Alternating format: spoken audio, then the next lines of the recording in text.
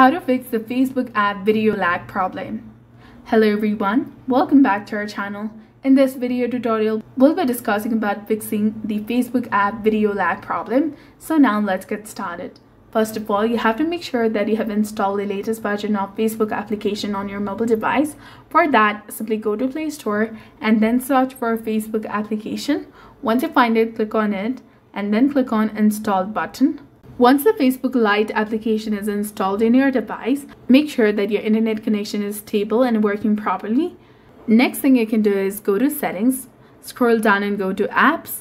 From here, simply search for a Facebook application. Once you find it, click on it and then scroll down and go to storage and then click on clear cache and also click on clear data. After that, come back. You can also try for stopping this application and then re-enable it. Tap and hold the application, click on uninstall and uninstall this application completely from your device, then open your Play Store and then reinstall it from here. Last but not least, you can also try restarting your entire system and this should help.